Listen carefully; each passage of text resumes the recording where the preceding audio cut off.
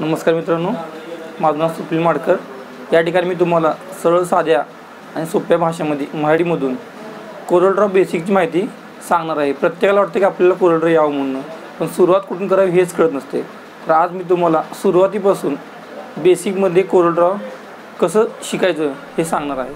त्या अगोदर जर तुम्ही माझ्या चॅनलवर नवीन असाल तर चॅनेलला सबस्क्राईब करा आणि शेजार असलेल्या बेल आयकॉनला क्लिक करून नोटिफिकेशन तुमचं ऑन करून घ्या जेणेकरून माझे नवीन नवीन व्हिडिओचं नोटिफिकेशन तुम्हाला मिळून जाईल. यापूर्वी मी माझ्या चॅनलवरती मराठी टायपिंग दहा दिवसामध्ये कशी शिकायची याची व्हिडिओ अपलोड केलेले आहे त्याचबरोबर त्यासाठी लागणारे फॉन्ट तुम्ही कुठल्या फॉन्टमधून मराठी टायपिंग करू शकता त्याचीही व्हिडिओ मी या ठिकाणी अपलोड केलेली आहे. तुम्ही त्या ठिकाणी ती व्हिडिओ बघून मराठी टायपिंग शिकू शकता. त्याचबरोबर English typing G C C T B C typing एक्झामसाठी जे टायपिंग आवश्यक आहे ते मी या ठिकाणी आपल्याला शिकवलेलं आहे. तुम्ही मराठी टायपिंगची आणि इंग्लिश टायपिंगची व्हिडिओ या ठिकाणी टायपिंग शिकू शकता. आज मी तुम्हाला कोरोडा बेसिक सांगणार आहे.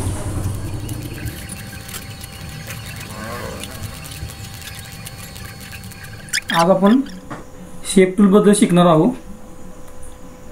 शेप टूलमध्ये भरपूर ऑप्शन आहेत. आपण एक एक ऑप्शन शिकू. जे महत्त्वाचे आहेत ते महत्त्वाचे सगळेच ऑप्शन आहेत.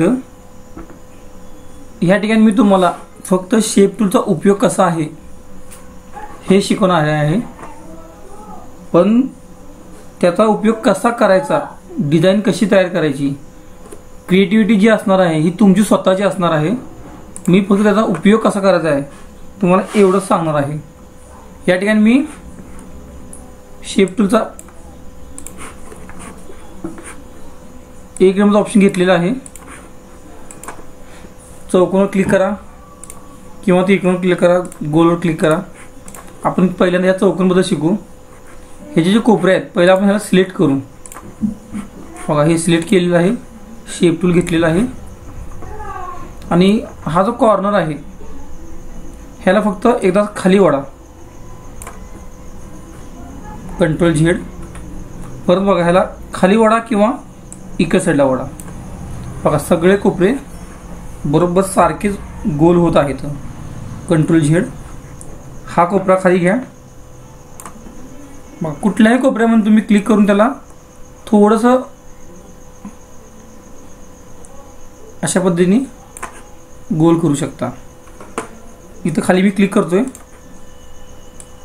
हे जे कोपरे हे मी गोल करतोय. बघा आपल्याला जसं पाहिजे जे आपल्याला योग्य वाटेल तसं आपण या ठिकाणी करू शकतो. बघा.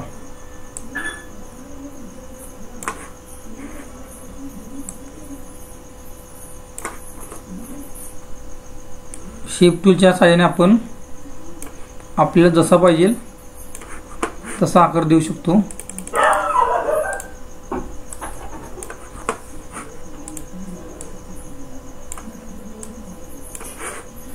परत बघा. या ठिकाणी हा जो कोपरा आपण खाली घेतो त्याचे चारही कोपरे सारख्या प्रमाणामध्येच गोल होत आहेत. ह्याचा आकार जर आपल्याला बदलायचा असेल तर ह्या ठिकाणी तुम्ही क्लिक करू शकता. मग आकार बदललेला आहे. स्ट्रेट हा गोल. कंट्रोल झेड परत हा चौकोन. या ठिकाणी मी कंट्रोल बटन दाबून धरत आहे. आणि हा कोपरा मी गोल करत आहे बघा. फक्त एकच कोपरा गोल झाला. बाकीचे कोपरे गोल झालेले नाहीत. याचं कारण की मी या ठिकाणी कंट्रोल हे बटन दाबून धरलं होतं. परत बघा. आकार पाहिजे. तुम्ही तो आकार देऊ शकता. ह्या ठिकाणी मी एक रेश वळतो. परत हा शेप टूल घेतो. इथे क्लिक करतो.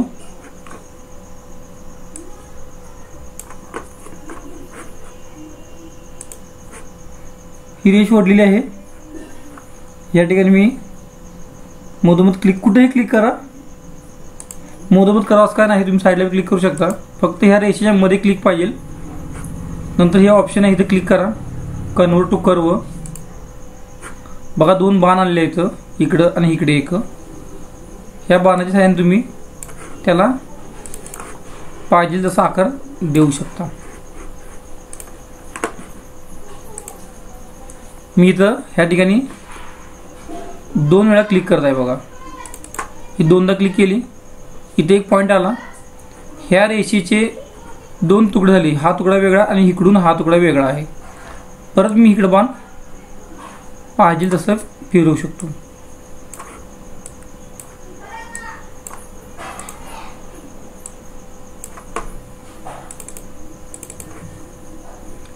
डबल क्लिक करा. प्रत्येक वेळेस एक नवीन पॉईंट तयार होणार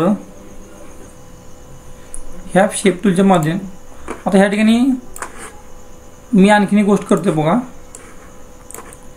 चौकून केलेला आहे मी एक. ह्याला ही जी वरची लाईन आहे फक्त हीच आपल्या ह्या शेपमध्ये कर करायची आहे फक्त वरची लाईन त्यासाठी आपल्याला हा चौकून जो आहे पहिल्यांदा कर्व करून घ्यावा लागणार. आहे ह्या ठिकाणी आपण कन्वर्ट टू कर्व करणार आहे. याची शॉर्टकट की आहे कंट्रोल डब्ल्यू किंवा ह्याला तुम्ही राईट क्लिक करून ह्या ठिकाणी कर्व करू शकता. आता हा जो चौकोन आहे हा कर्व झालेला आहे. कर्व झाल्यामुळं त्यात काय बदल होतो आपण ह्या ठिकाणी बघणार आहे. परत मी हा शेप टूल घेतलेला आहे. हा चौकोन म्हणजे ह्याला चार कोपरे असतात. ह्या चौकोन म्हणजे ह्याला हे चार कोपऱ्या आहेत. आणि ज्यावेळेस आपण ह्याला कन्वर्ट करतो त्यावेळेस ह्याचे हे जे चार कोपऱ्या आहेत हे निघून जातात. त्याच्याऐवजी हे जे चार रेषा आहेत म्हणजे चार बाजू तयार होतात. ह्या ठिकाणी चार कोपऱ्या आहेत तर ह्या ठिकाणी ह्या चार बाजू आहेत. त्यातली आपण ही वरची बाजू घेणार आहे. इथं क्लिक करणार आहे आणि ह्या ठिकाणी ह्याला कन्वर्ट टू कर्व करणार आहे. आता बघा परत हे आपल्या दोन नवीन पॉईंट तयार झाले आहेत. हा एक शेप तयार झाला. परत बघा आपण ही दुसरी रेषा आहे खालची. ह्याला क्लिक केल्या आपण मध्ये.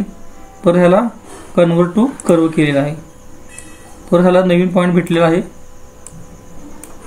बघा उपयोग मी तुम्हाला सांगणार आहे. क्रिएटिव्हिटी ही तुमची स्वतःची पाहिजे. तुम्हाला कुठला आकार आवडतो? हे तुम्ही ठरवायचं आहे. अशा प्रकारे आपण ह्या ठिकाणी आज शेप टूल्सबद्दल माहिती शिकलेलो आहे. बाकीच्या टूलबद्दल आपण उद्याच्याला माहिती घेणार आहोत.